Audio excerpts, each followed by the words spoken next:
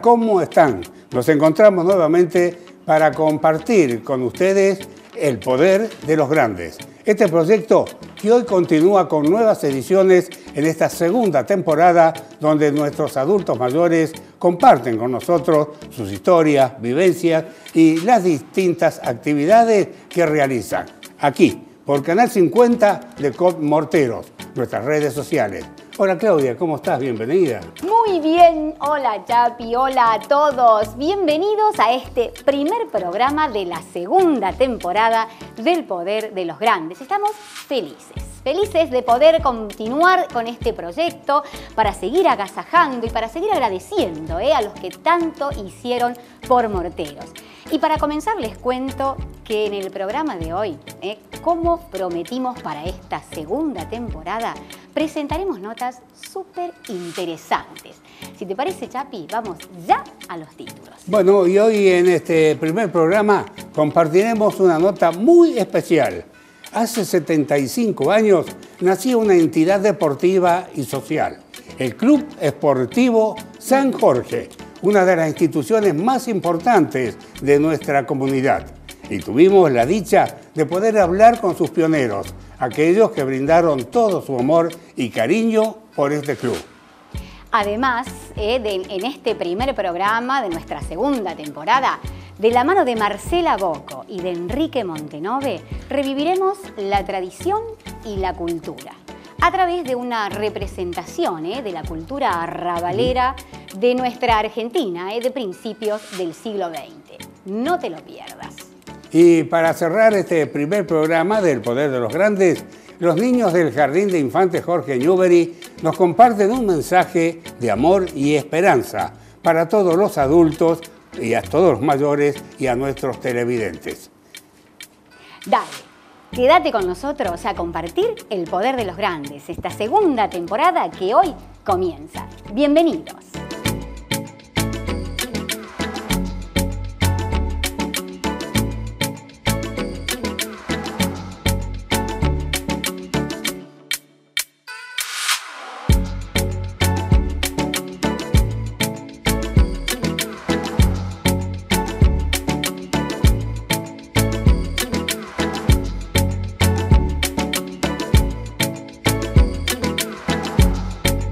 Como lo anticipábamos en los títulos, comenzamos con una nota muy especial, los 75 años del Club Esportivo San Jorge. Compartiremos con ustedes un relato en primera persona con los pioneros de lo que fue y es actualmente esta importante institución de nuestra ciudad. Toda la historia, experiencia y lo vivido en estos 75 años. Hablamos con Raúl Dobis, Alberto Pautazo y Roberto Sartori. Y esto es lo que nos contaron.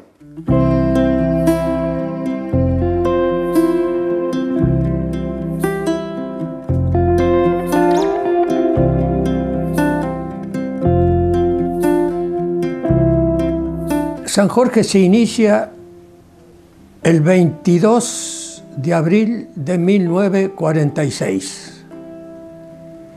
se fundó en la peluquería de un señor Hugo Bianchi. En el año 52, 52, 53 fallece un chico llamado Jorge Buero, de 13 años, de una firma importantísima de morteros, que sería Ernesto Cebuero e hijos.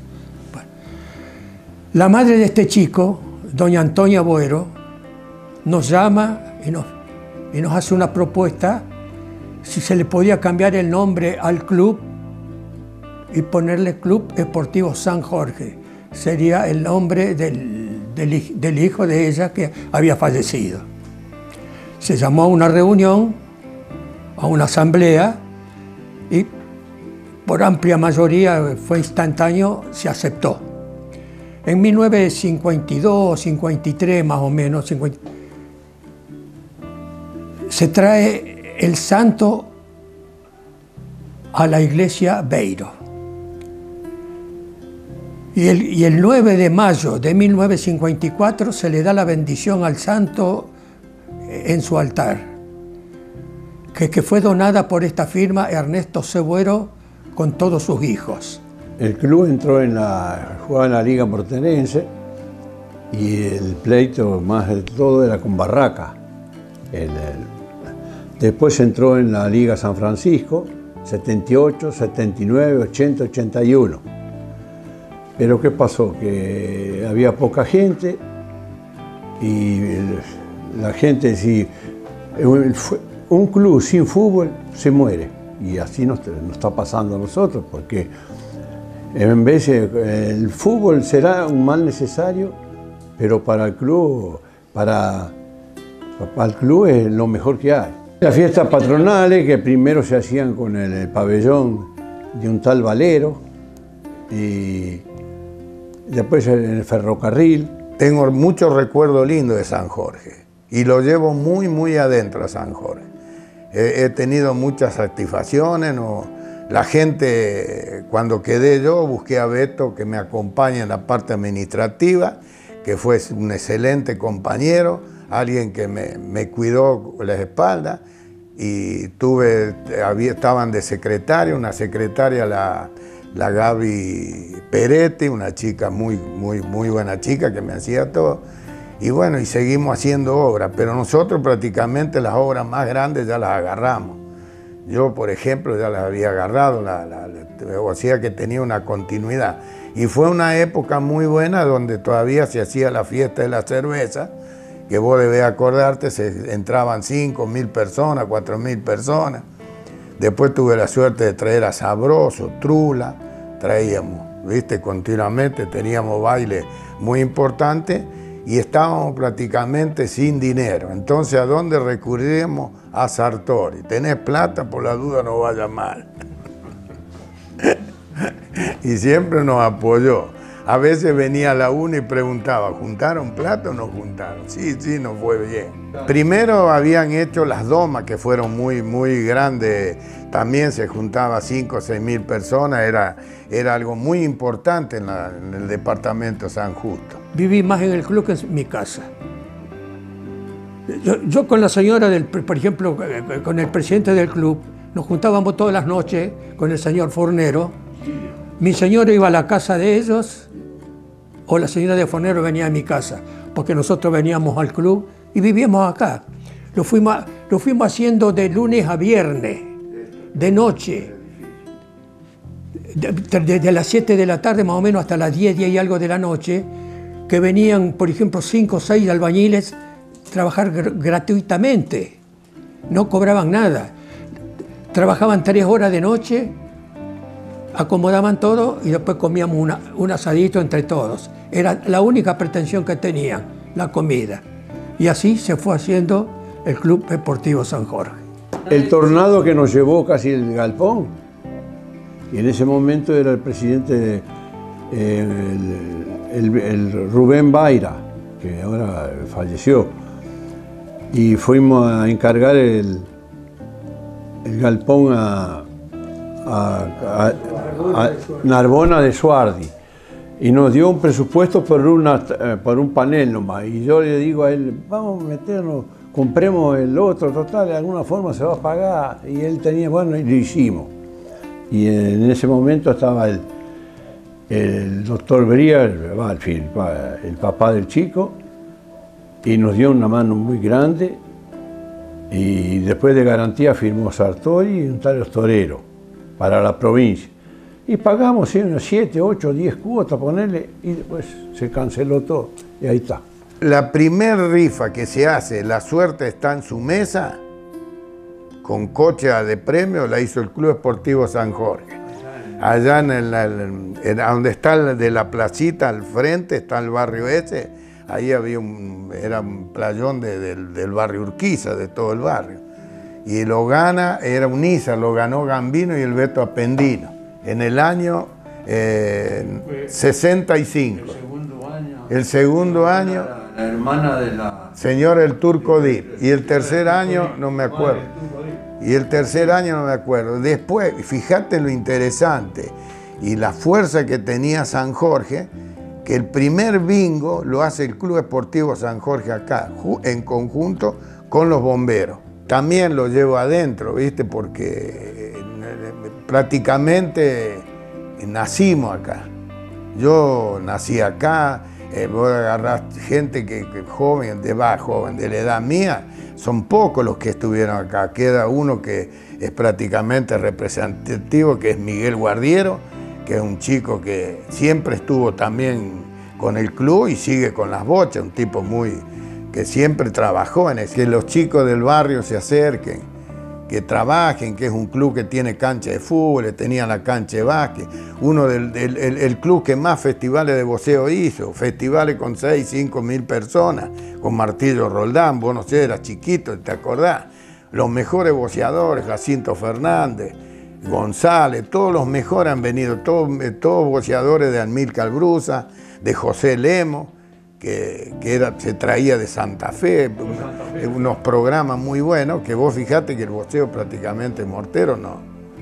Se traía muy buena, buenos profesionales.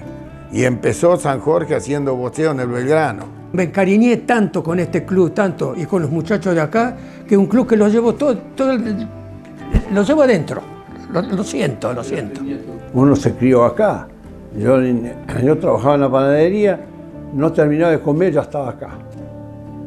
¿Eh? Y qué sé yo, íbamos de un lado, se jugaba contra Esmeralda, Esmeralda Barraca, Barraca Esportivo Urquiza, eh, La Melia y así los clásicos se hacían y uno iba siempre. La Valle, eh, era, era una, una, guerra campal, eso era. Yo le digo a los, los jóvenes del barrio Urquiza que se metan en el Cruz San Jorge, que tienen para hacer baby fútbol, tienen para hacer un montón de actividades y bueno, eh, eh, y asociar a los más gente que se pueda asociar.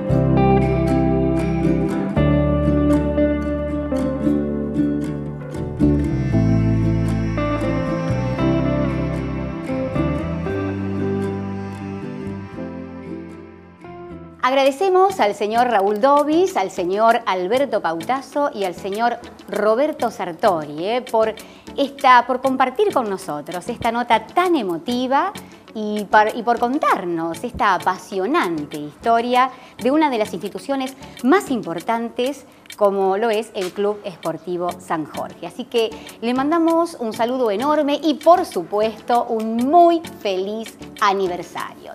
Antes de continuar con esta edición ¿eh? del Poder de los Grandes, queremos agradecer a las empresas y a los comercios de morteros que nos están acompañando nuevamente en este proyecto. Y ahora sí, continuamos con el Poder de los Grandes. Y de la mano de Marcela y Enrique, reviviremos la cultura arrabalera, ¿eh? de eh, esa mezcla de sentimientos unidos con la nostalgia del olvido, del desarraigo de un país lejano que fue transformando el llanto en música, la música en alegría y la alegría en cultura. Todo esto a través de esta excelente representación. Tango, hoy aquí en El Poder de los Grandes. Lo compartimos.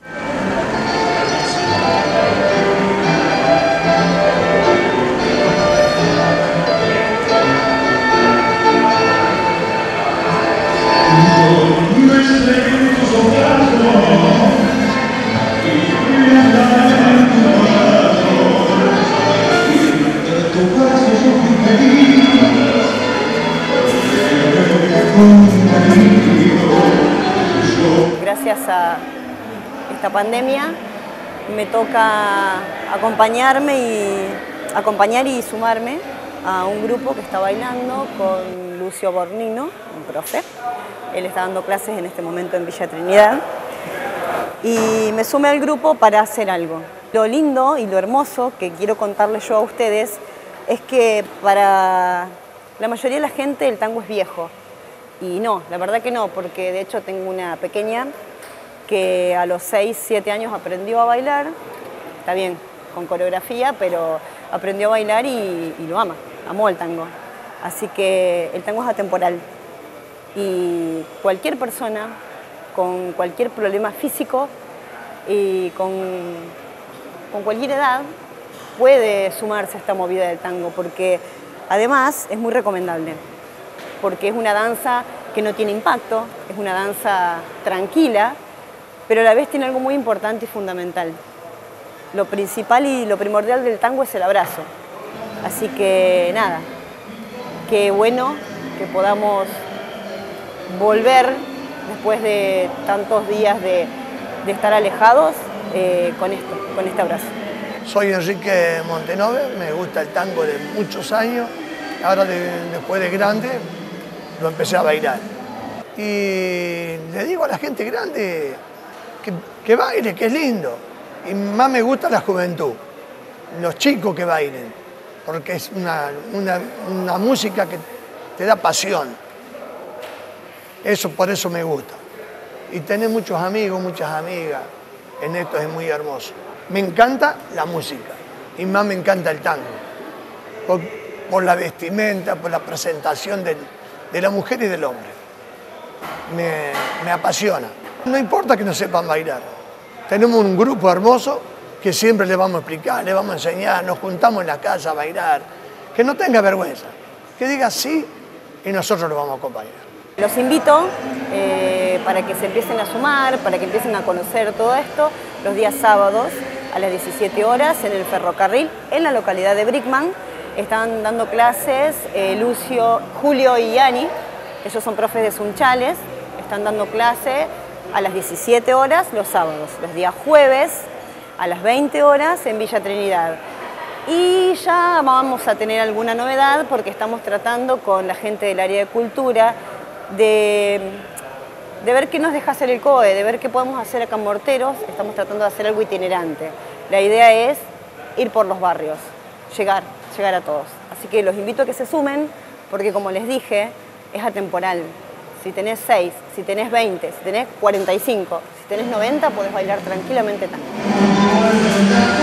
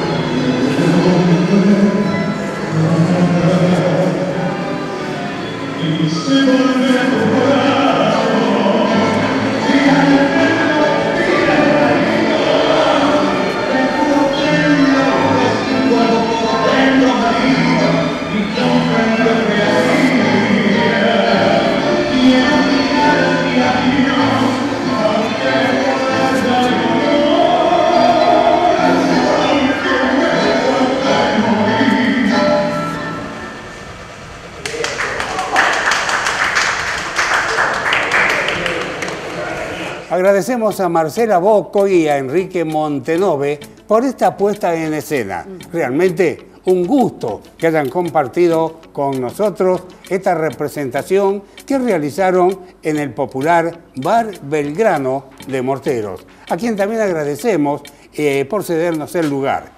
Y para el cierre de este primer programa del Poder de los Grandes, los niños del Jardín Jorge Newbery nos dejan un mensaje de amor y esperanza para los adultos mayores y nuestros televidentes. ¿Lo compartimos? Abuelo, cuídate mucho, abuelo.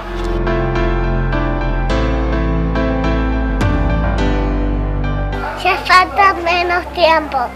No, no, no salgas a tu casa, cuídate. Abuelo, está Lo quiero mucho. Lo quiero mucho. Cuídate, abuela. Abuela, la escuchamos. Abuelo, la pandemia no terminó. Cuídate. Abuela, ya vamos a jugar. Desde el jardincito Jorge Newbery nos queríamos unir a estos mensajes de esperanza que estuvieron dando los niños eh, recién. Así que bueno, más que de seguir diciendo fuerzas, adelante y cuidémonos entre todos. Un beso.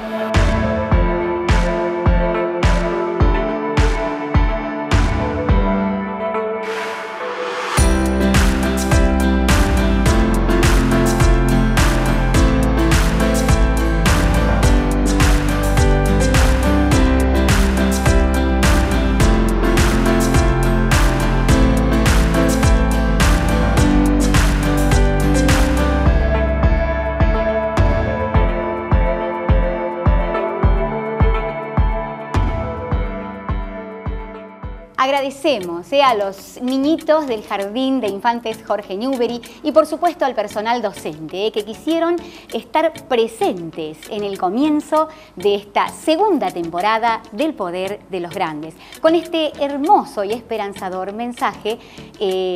Para los adultos ¿eh? y para todos nuestros Sí, televidentes, seguro. como vos dijiste al comienzo. Así que gracias a los pequeñitos que también dijeron presente ¿eh? aquí en el poder de los grandes. Les mandamos un abrazo lindo, lindo, lindo a toda esa hermosa comunidad educativa del Jardín de Infantes Jorge Newbery de Morteros.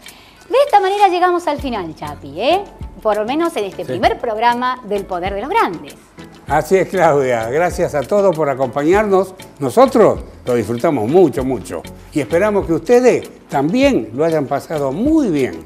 Nos encontramos en 15 días, aquí, por Canal 50 de Con Morteros y por nuestras redes sociales para seguir compartiendo historias y vivencias de nuestros mayores. Muchísimas gracias a todos y por supuesto no te pierdas nuestras próximas ediciones del Poder de los Grandes. Si deseas compartir tu historia, contactanos ¿eh? en nuestras redes sociales. Les mandamos un abrazo enorme, cuídense mucho y será hasta el próximo encuentro.